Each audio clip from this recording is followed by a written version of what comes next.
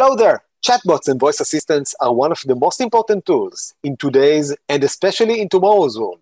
But who are the people behind them, the conversation designers? My name is Eran Soroka, head of marketing operations for CoCoHub Conversational Components.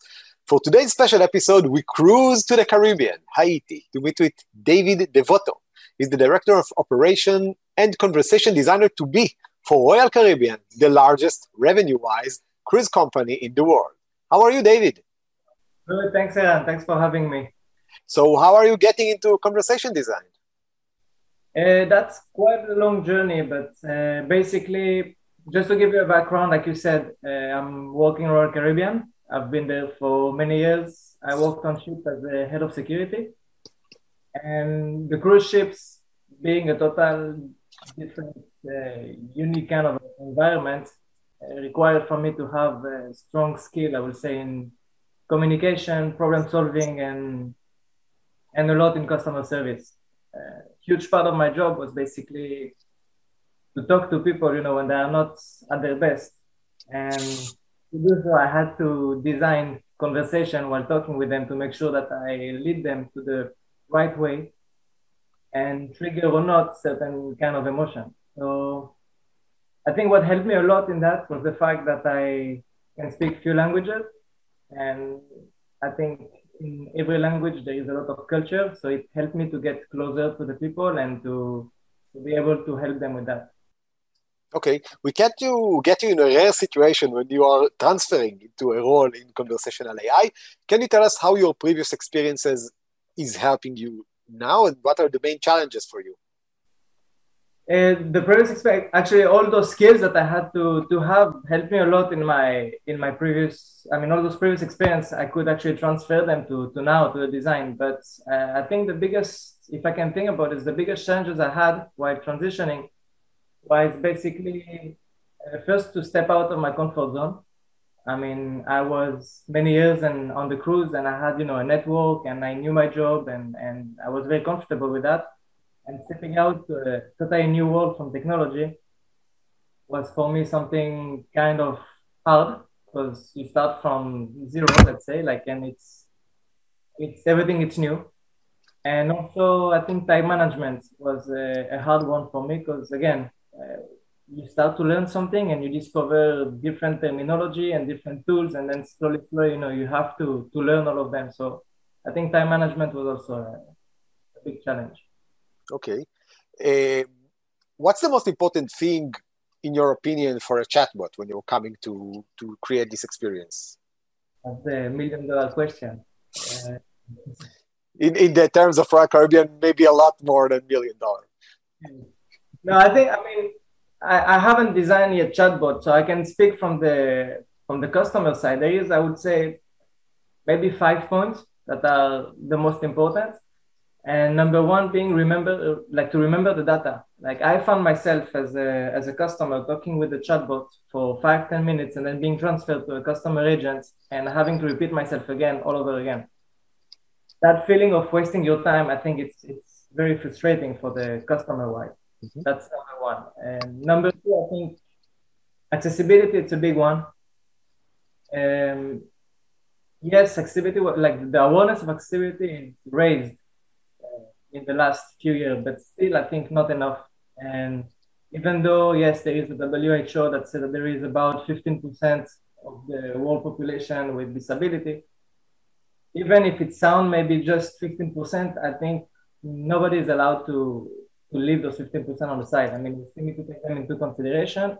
And in those 50%, I don't believe there is the people that are temporarily disabled.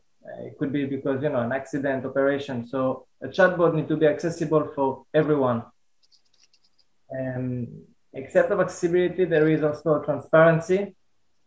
You know, we are giving a lot of data in the chatbot. And the last few years, there was some security breaches with data being taken, sold. So the chatbot should be able to, to let the person know uh, which kind of data exactly will be taken from him, where the data goes, and what's happening.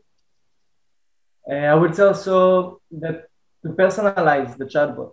You know, like uh, it's not enough to. It's nice that the chatbot remember my name. It's, it's a nice feeling, but as a human, you look for empathy, And the persona of the chatbot should be different, I think, from someone that is talking in distress than somebody that is asking some technical issue.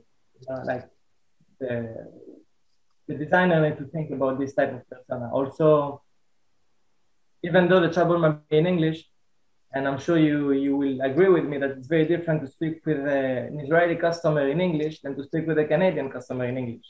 So that personality also, maybe the answer might be the same, but the delivery of the answer should be put in a different way, I would say. Mm-hmm. I would say communication. You know, um, it's very important for the customer to understand first that we speak with a chatbot and not with a human from the beginning. And, and if the chatbot is not capable to understand, I don't know, a few paragraphs, also it has to be told before the person just describe all his exper- all their experience or, or, or, frustration. So, for instance, if the chatbot will have say describe in I don't know approximately 20 words or a few sentences what happened and what you expect from me, it's a lot easier than to have a full paragraph and then the chatbot saying, "I'm sorry, I don't understand. I will transfer you to a." These are kind of live. How can conversational AI make the traveler's experience better, and how do you plan to, to use it on Royal Caribbean? Uh, like the, again, this this last year, I think what kind of helped us is uh, the fact that a lot of people get forced to use technology, and a lot of people that were not that were not trusting technology basically found themselves using more and more technology. It became something very prevalent in our life, you know. So I think technology might be able to reduce line and, and increase um, revenue, reduce costs. I remember I was reading a book, or a sprint, it's called from Jack Knapp. I don't know if you know about this one. They were talking about introducing a robot uh, to deliver room service.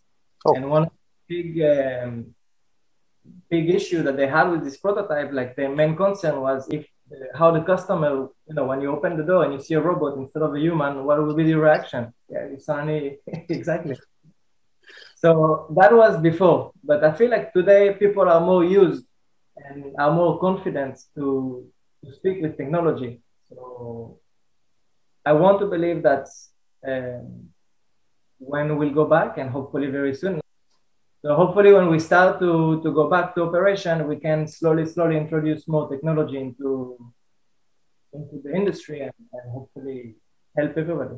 As a conversation designer in process, as I would uh, say, what is the best tip or advice you can tell people that are also embarking on a journey like yours? Uh, run. No, just kidding. Uh, I would say uh, don't be scared to step out of your comfort zone. Like, don't be shy to reach out to people. Um, also, I mean, which means basically put ego aside, you know? Um, it's, it's something I know it can be hard sometimes. I mean, you are designing or you start to design and you spend a lot of hours on a prototype on a design, and then you get feedback or critics that's basically showing you how not ready is your design I mean, don't take this personally. Uh, just take this as a learning curve.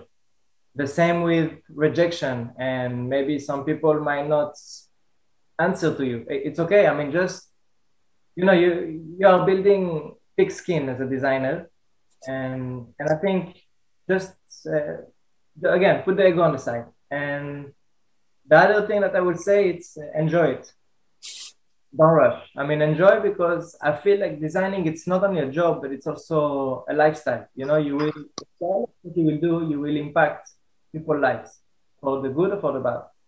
So take your time, enjoy, try to find that uh, middle ground between business and actually helping people. So you can there is a win-win situation for everyone and, and reach out to people. There is an amazing community of designers that are always ready to help and assist. I mean, reach out to them. And hopefully, once you become a designer, you will give back and be reachable for new designers. Okay, that was great. Uh, it seems like you're in the middle of the journey and, uh, you know, cruises, you always get to your destination this way or another. So this is like a chatbot in a way. Uh, David Devoto, Royal Caribbean Director of Operations and Conversation Designer to be. Thank you very much for this conversation. Thank you so much, Eran. Thank you very much. And for everybody watching, go check out cocohub.ai where we bring chatbots to life and giving you all the tools, resources, and knowledge you need to create human-like conversational experiences. Stay safe, take care, and bon voyage!